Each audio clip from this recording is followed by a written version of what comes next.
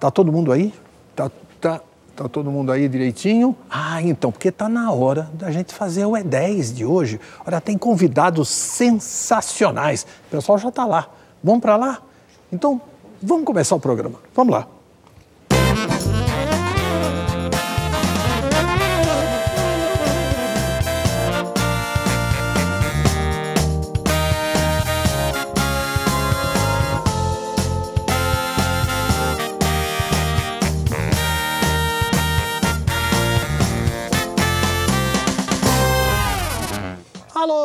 Gente! Estamos chegando mais uma vez aqui na Rede Brasil de Televisão para apresentar mais um encontro semanal de amigos aqui no nosso E10. E como você sabe, nesse nosso encontro, a gente traz pessoas famosas que contam das suas trajetórias artísticas, contam da sua vida pessoal, né?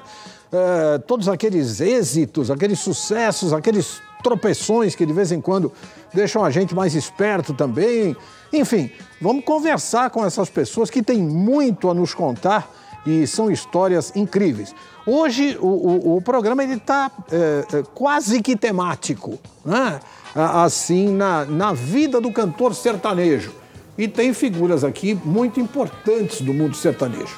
Também tem um ilusionista que chegou aqui, diz que vai fazer e acontecer. Nós vamos tirar essa dúvida já já. Mas eu quero começar apresentando, não vou dizer apresentando, porque vocês todos o conhecem e a gente tem o maior respeito pelo trabalho dele como compositor, como intérprete, principalmente como apresentador de programa sertanejo. Tem uma coleção de programas sertanejos que não acaba mais. Meu querido Juliano César, tudo bem com você? Tudo bem, Inês. Que prazer, que satisfação de estar aqui perto de você, no pois seu programa, é, que é uma grande audiência. Obrigado, velho. É realmente um prazer imenso, porque eu sou seu fã, além de.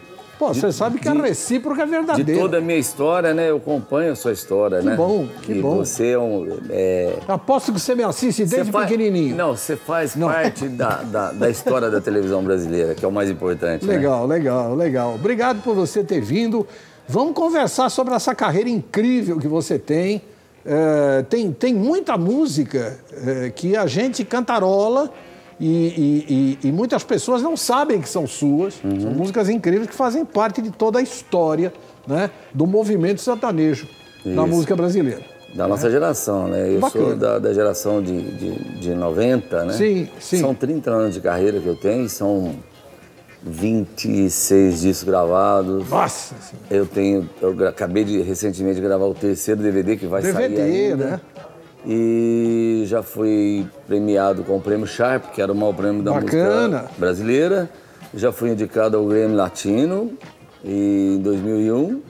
E eu sou um sertanejo nato, eu não sou aquele sertanejo oportunista, na verdade, Sim. né?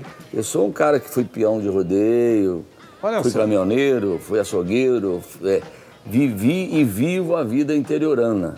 Bacana. Eu sei te, te dizer, tudo que você me perguntar de, de do, do, lado do agronegócio, pecuária, essas coisas, eu sou bem ligado nessa área aí. Nós vamos falar sobre isso. É isso. Tá bom?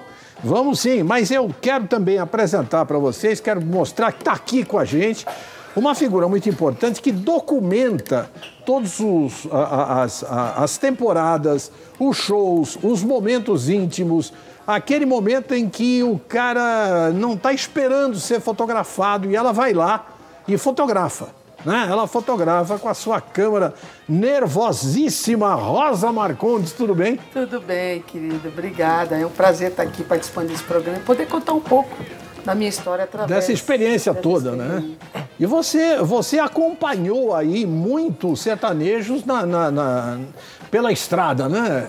On the road, né? Por aí, né? Com certeza. Então, que bacana. Contar, conversar um pouco sobre isso, aí, mostrar algumas fotos e contar alguma história aí. Né? Vai contar as coisas cabeludas também? Não. Não. Não, não. não. Essa parte eu, eu já não, não faço. Sei, tá bom. Não, mas aí você não precisa mostrar a foto, você só me conta, a gente põe no ar. Não, eu né? costumo não, não fazer esse tipo de foto, né? Mas então, que bacana que você está aqui com a gente. Obrigado, Rosa. Obrigado você por ter me convidado aí, para fazer parte aí da história de você, do seu programa também, né? Vamos bacana, bacana mesmo. Quero também falar com vocês que está aqui com a gente o, o mágico Pedro Amaral. E aí, Pedro? Tudo bom, Nécio? Tudo bom, e você? Maravilha, tô tudo mágico. É, é, como é que é? Você é daqueles mágicos que prefere ser chamado de mágico mesmo ou de ilusionista? Porque eu já vi as duas coisas, né? De vez em quando eu digo, você é mágico. O cara diz, pô, eu sou ilusionista. Aí eu fico com cara de besta, né? É, não sei. Então, olha só, né? já voou carta pra tudo quanto Já foi tá lá. voando, já. Nossa, mas teve alguém que te respondeu assim, pô. É, já não, já rolou isso. Já rolou, já. rolou. Então é o que eu tô te perguntando. Você não, não tem esse problema? É porque é muito semelhante, assim, é difícil explicar. Cada um tem a sua teoria, a sua, a sua filosofia de vida do que é mágico, o que é ilusionismo, né? Pra mim, mágica é o efeito, é o que acontece nas pessoas. Perfeito. É subjetivo a cada um. Ilusionismo é o que eu faço. Olha só. Eu faço ilusões para produzir mágica, então eu gosto de ser chamado de mágico, eu prefiro. Olha, você como político chegaria a cargos altíssimos. Bem, é, foi Você bem aí, notou, viu? meu? Ô, louco. Não, Você já olha. não é mágico, nem ilusionista, você é um mago. Ele tá dando um nó em Isso é pingo política. d'água. Né? Pra defender o ponto de vista dele, ele deu um nó em pingo d'água assim num tapa só. Não, mágica é o que vocês visto. É Bacana. Você cuidando do orçamento, sabe? né? Eu ia resolveria No. Senado hein? ia resolver um monte de Fazer problemas. sumir uns zeros, aparecer uns zeros. Ia ter que aparecer um monte de zero, né? ia ter que aparecer um monte. É, eu, eu sou bom em, assim, né, enganar a pessoa sabendo que está sendo enganada. Exatamente. Agora, quando ela não Essa sabe... é a diferença. Não sei se é muito É que a tua mim. magia é honesta. Isso, Essa é a imagina, né? diferença. Isso. É, tio. Faz a diferença, né? Ai, meu Deus. Engraçado é dessa, que eu estava observando, ele, ele- todo mágico ele tem uma característica, assim, tem uma, um estilo mesmo, né? Tem o, a- a- a- o, o- o jeito dele é, É, de, é. de, de, de- de- Você acha que eu tenho jeito de Você mágica? tem. Então, é. Eu não sei porquê. É, talvez, a característica, né? Até o cabelo do rapaz é diferente. É diferente. Ele não precisa fazer mágica, nem pentear ele precisa. Não, eu acho que ele faz efeitos especiais antes de sair de Não, casa. tem aqui, ó. Às vezes fica umas... Aê! Olha só, já Que começou. top. Começou. Mas cabia essa bola no meio Tá dos teus vendo? cachos aí? Não, Que- tanto que tem aqui também, né? Aê! Olha aí, rapaz. Que altinho, Meu né? Deus. Olha lá, Que olha lá. legal. Tem aqui num cabeleireiro especial, todo em Hogwarts, né? É um cabelo Já todo bolado. Né? As luzes e as bolinhas, né? Deixa, deixa eu saber uma coisa. Juliano, o que é que você podia fazer? Quer dizer, eu não sei nem se você é, é, é, já queria sair cantando, mas eu gostaria. Não, vou você desse um- uma palhinha pra gente. Para identificar, a minha, meu primeiro sucesso foi uma música que virou clássico, uma música sertaneja e regravada por vários artistas. Essa música aqui, que um dia até eu tive no programa do Silvio. Sim. Ele me deu um prêmio da melhor música, que é essa aqui, ó. Não aprendi de Uau. geladeira. Não sei se vou me acostumar. Olhando assim nos olhos seus, sei que vai ficar nos meus a marca desse olhar. Não tenho nada pra dizer, só o silêncio vai falar por mim. Eu sei guardar a minha dor, e apesar de tanto amor, vai ser melhor assim. Não aprendi a dizer adeus, mas tenho que aceitar que amores vêm e vão, são aves de verão. Se tens que me deixar, que seja então feliz. Ô, ô, ô, Rosa, aqui tá dizendo, eu tô lendo aqui na minha ficha, que é, durante todo o ano é, os fãs da- da- do- dos cantores sertanejos vão poder conferir as fotos que você fez em exposições exclusivas nos quatro maiores encontros sertanejos e com rodeios do Brasil, é isso mesmo? Brasil. né? eu tenho o programa Prosa Sertaneja, né? Sim. E me deu a oportunidade de fazer essa exposição de fotos, mostrar um pouco do meu trabalho nos rodeios, nos grandes eventos. Inclusive, agora eu vou estar dia 10 de, de dezembro em Ribeirão Preto, num grande evento. Estava até comentando com o Gilberto. na minha eu já cidade. convidei ele. Já vai, vamos, né? já vai- nós vamos fazer um churrasco. Vamos, fazer, lá. vamos estar lá no camarote, É. né? Da, No Country Fest Cal- você vai estar. Country Fest. Isso. Country E Fest. eu já fui para Marília, já fui vários estados, para Goiânia, é, com essa minha exposição, através do meu programa. Barretos. Barretão. É, Barretos é indispensável. É, né? Barretos é. Tem que ir. Então né? a gente tá, né, através da, da, da Pro Sertanejo da Vevo, que foi quem me deu a oportunidade de mostrar todo esse meu trabalho aí de 30 anos. Então eu tava olhando aqui, tem algumas que são fotos assim com, com um tempo maior, né? É, aqui, por exemplo, é, essa foto aqui, eu queria até que você. Eu, eu não, não, não sei qual é a câmera que pode pegar, talvez aquela, aquela ali, né? A 1, né? Do Alberes. É, essa foto é da época do Amigos, É, não é dos não? anos 90. Dos anos 90, dos da anos época do 90, Amigos, né? Amigos, né? A união deles, né? E eu estava lá presente, né? No programa.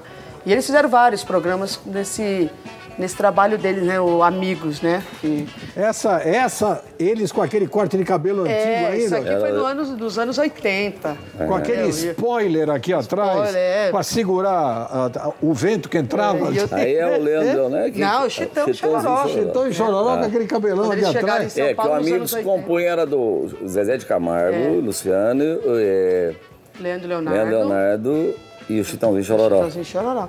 Falar É. nisso, o Luciano acha muito ruim quando fala Zezé de Camargo e não fala o nome dele. Ele acha ruim na hora, né? Tem muitas essas coisas assim. É dupla, né, Décio? Sim. Agora é Juliano César e Décio. Os 10. Mas a gente também pode falar Juliano e César. É. Não, pronto. Abreviada.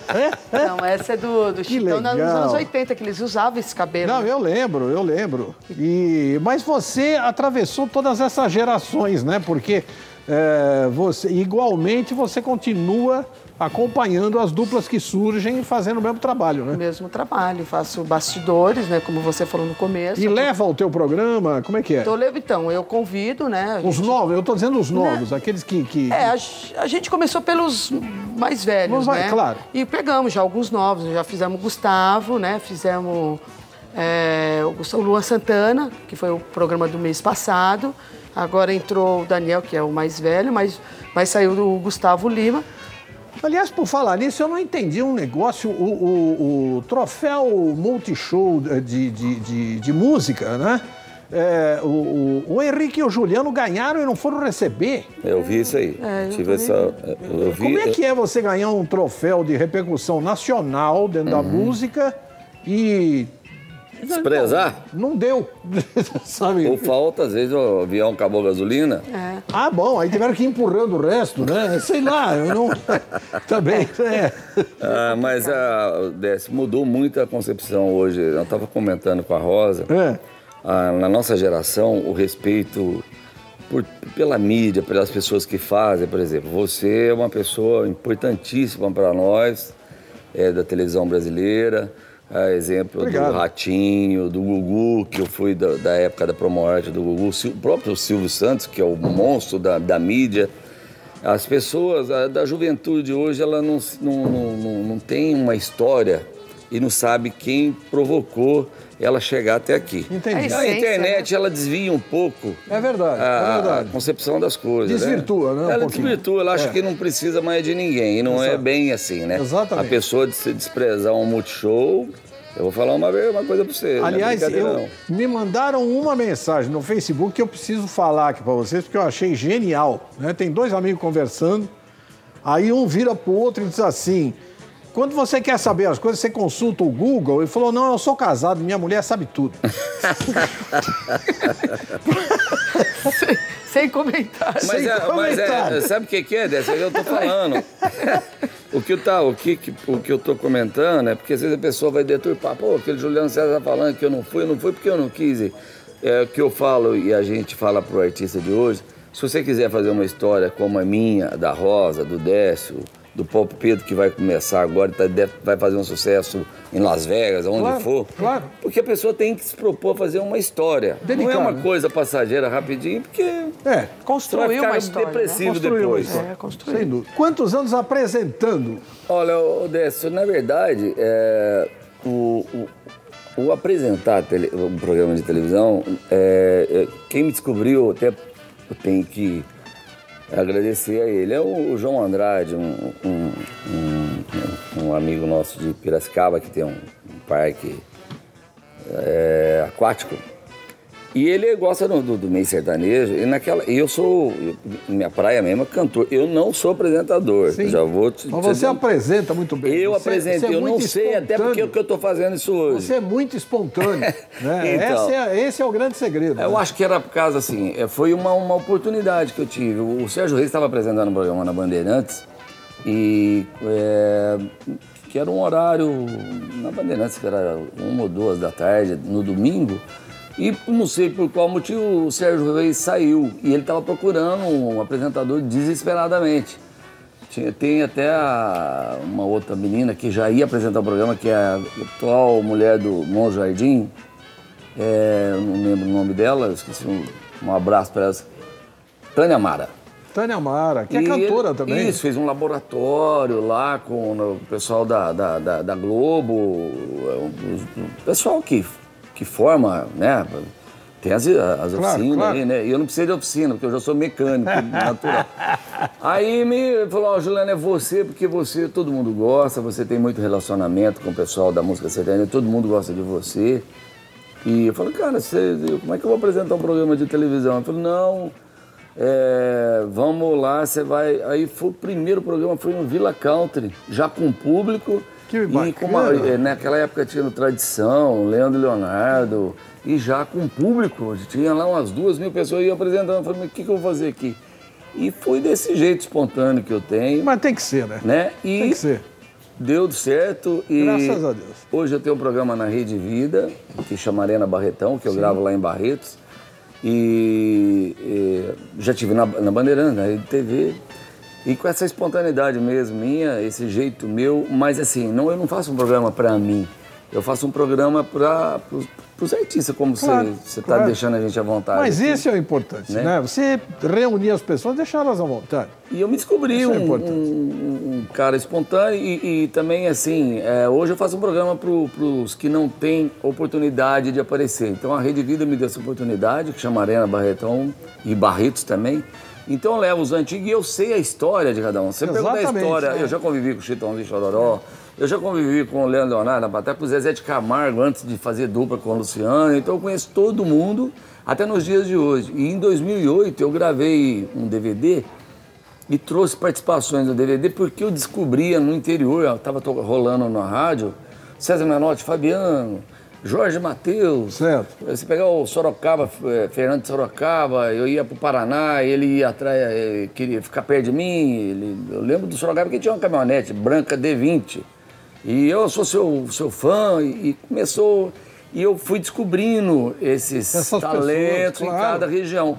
E fui trazendo para televisão, junto com um amigo meu que está aqui, que é o seu diretor, que é o com o João Luiz. João Luiz Borges. E a gente conseguiu, na Bandeirantes, que é o Terra Sertaneja, eh, fazer um programa de grande, de, de grande audiência no sábado. Nós chegamos até a dar 10 pontos de audiência. Assim. Que maravilha. Ô, Rosa, me diz uma coisa.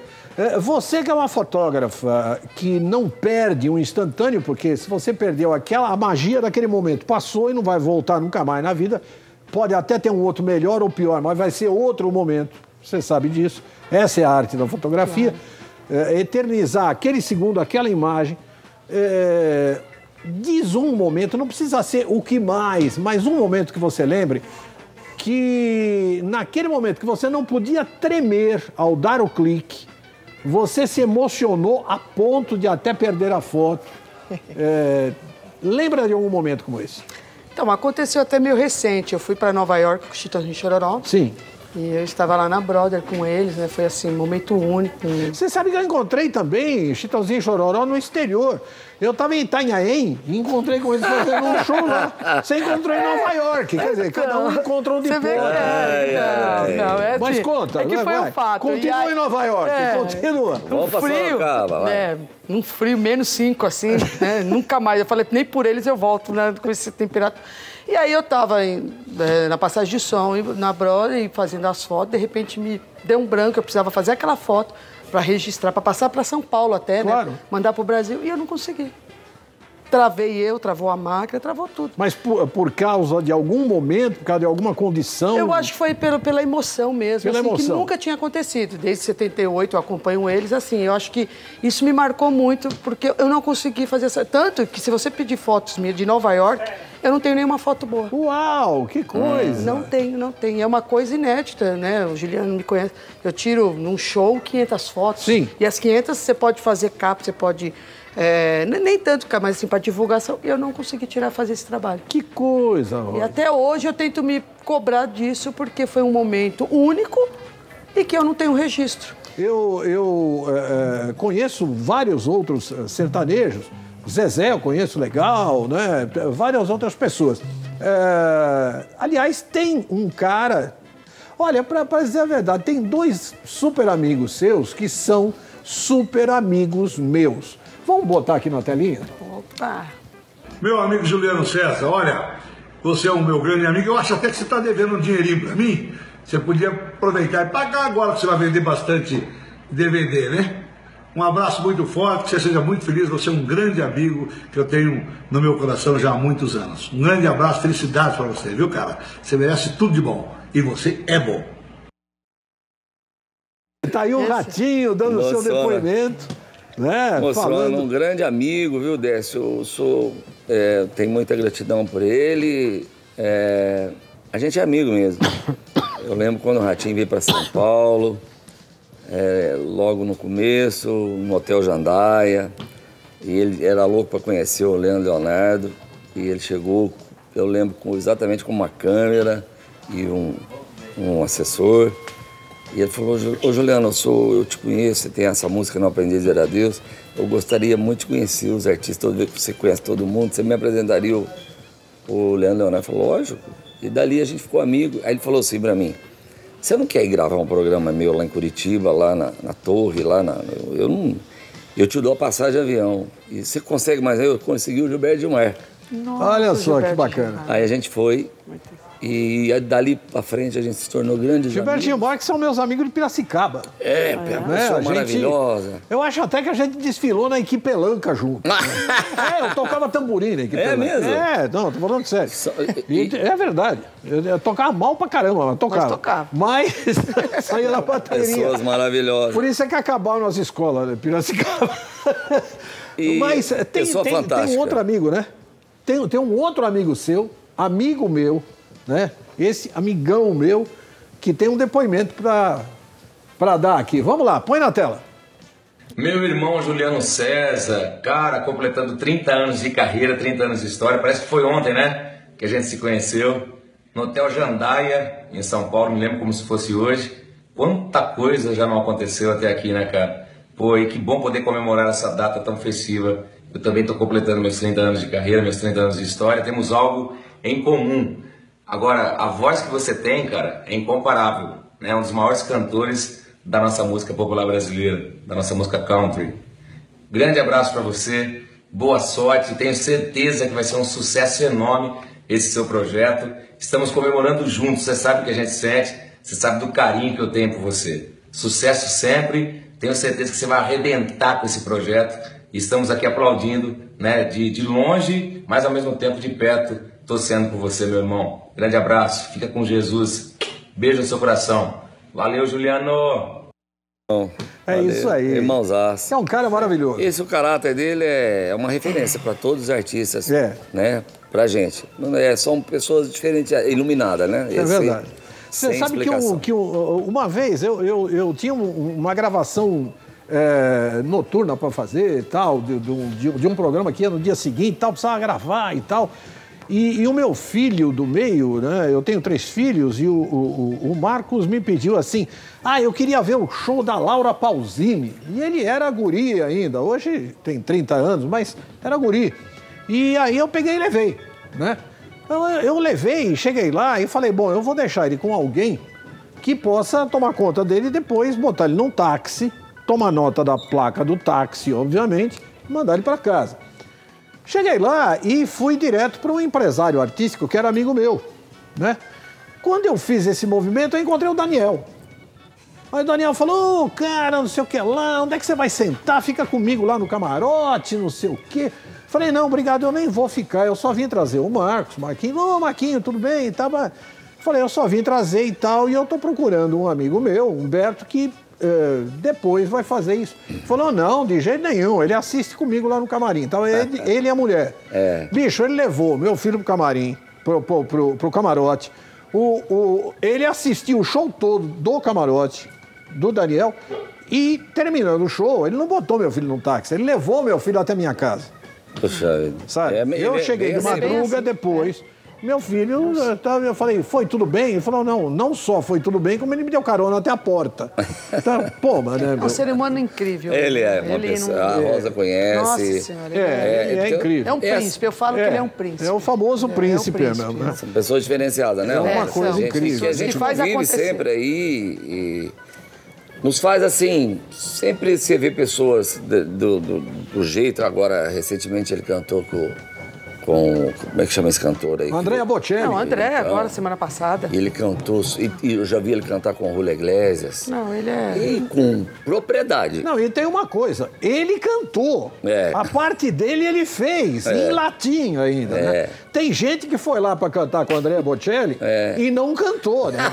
Esqueceu a música, a letra. Foi um, né? Sabe como é que chama isso no sertanejo? Pulado em gás seco.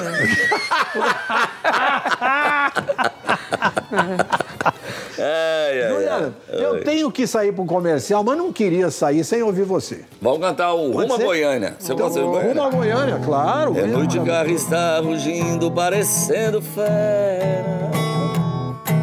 Voando baixo pela pista da Via Anguera. Já estou vendo ao longe a linda e doce ribeirão. Toda iluminada, feito um céu no chão. A noite azulada de uma primavera. É, Me diz uma coisa, você faz mágica de aparelhos, essas coisas e tal, aqueles aparelhos que fazem desaparecer, fazem aparecer, fazem o raio que o parta, sei lá, ou você prefere mais a coisa da manipulação? É, eu gosto mais da mágica de, de proximidade. Assim. Proximidade. Chamo de, de, de na galera. Chama, mágico chama de stand, ah, close-up, né? Eu chamo de É mais íntimo, né? Isso, eu gosto, eu gosto. Esse dos equipamentos, assim, eu nunca fui fã. Eu já Sei. vi, já, mas é uma coisa que pra mim não, não tocava meu coração. É sabe? legal pros outros, né?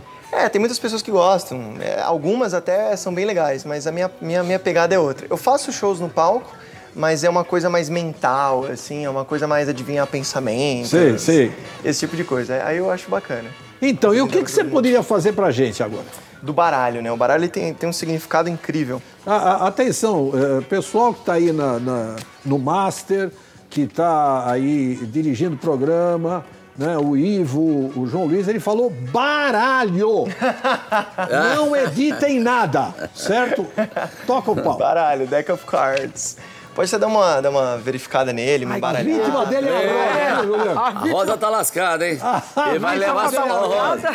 Ele vai levar sua câmera. É porque quando... Não, já pus ali, ó. Vai tacar fogo na Você vai câmera dele. ver. Quando um mágico puxa um baralho, sempre tem essa Ai, coisa, né? De "Ei, bonito, tem alguma bonito. coisa, então. É um baralho assim, se você fosse comprar lá fora, você pagaria uns 2,95 dólares por aí. é, de verdade, ele é, ele é comum pra, pra ser Bonito jogado. seu baralho. Parece normal? Parece. Parece não, é normal. Parece normal, é bom. Ai, né? que- Eu vou precisar, Desceu, que você deixe. Isso, olha, já sabe, mas pode ficar aí no seu lugar mesmo. pode puxar a sua manga, eu vou até puxar a minha também. Só puxa Puxar um a manga? Isso, porque Tá sempre bom, o assim segredo. precisa- precisa Tá desabotoar? Não, não, tá ótimo Não. aí. Tá ótimo aí. Eu vou colocar o baralho em cima da sua mão aqui. Tá. Isso, que é como se fosse pra ele pegar um pouco da sua energia, tá? Tá. Mas fica aqui paradinho. Pode colocar essa mão aqui por cima. É como se fosse pra ele pegar mesmo a sua. Minha energia tá num Isso. dois de paus. Ah, não, de espada, de espada, de espada. Ótimo. Pode ficar onde você tá. Eu vou só agora, eu vou pegar ele aqui de volta. Acho que já pegou energia o suficiente. Sua mão é bem quente. Normalmente ela, ela é, ela é quente assim, sempre não, não. você sabe que só quando eu fico emocionado. Que amor. Legal, bem. Ah, eu vou querer que você pode encostar em alguma carta. Pode ser vermelha de borda branca, o que você quiser. Só tem vermelho de bola branca. Pois é. Tá, encostei. Encostou? Ótimo. Vou te mostrar aqui. Inclusive, a gente até pode ver que, como eu vou mostrar pra câmera, né? Sempre tem essa de que eu vou olhar no retorno também, então é. Ah, eu não sei, não. O Alberes vai contar pra ele que- né?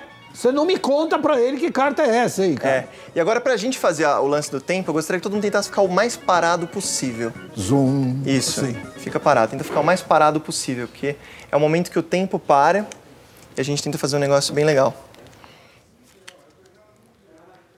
Vou até fazer aqui próximo. Rasgou a carta. É. Se era para rasgar, eu tinha rasgado. E agora, nesse momento, fiquem bem parados.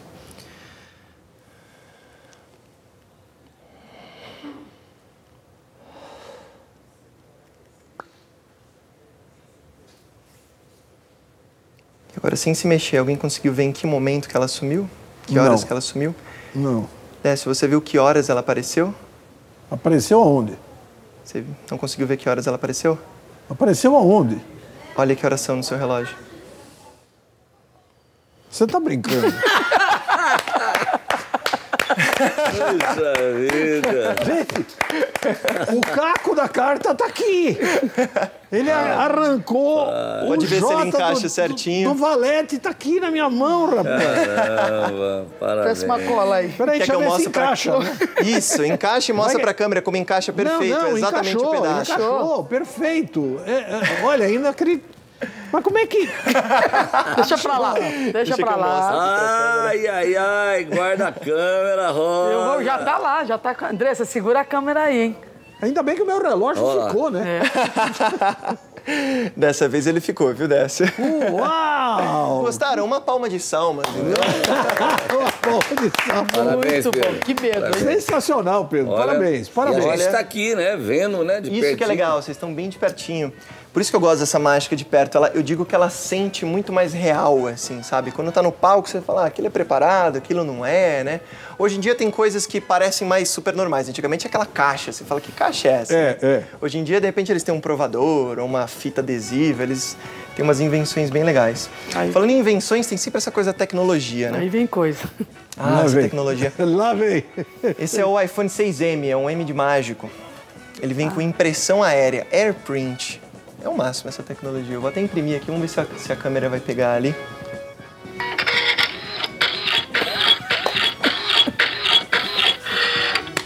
E ele sai quentinho, viu?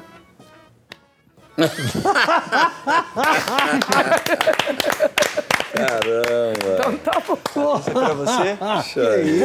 Tá vendo? Pedro Amaral, olha que sensacional. Parabéns. É mais do que mágica, é mágico. É mágico mesmo. Parabéns. Preciso uma. Nossa, eu ia falar, eu preciso um desse. E o seu foi sem manivela. Você viu, né? O meu é mais moderno. né? É, o seu foi sem manivela. Olha Nossa, só. cara, que legal. Legal. Parabéns. Ó, Pedro, parabéns, parabéns. Olha, é um quem Amaral. quiser contratar o Pedro, é o famoso 011, né? Depois Isso. 966 922956, vou repetir. É o 011 966 922956. Isso, pode entrar no site também, lá Parabéns. tem bastante informação, tem os vídeos, que é o pedroamaral.com.br. Pedro Amaral, opa, daqui, pedroamaral.com.br. E agora eu tô trabalhando mais com grandes eventos, como debutante, casamento e festas assim maiores de empresa. Maravilha, E deu um maravilha. perigo roubar a namorada dos outros. É, hein? rapidinho, você viu? Ah, quem, Pedro? É em um Deixa eu... puff.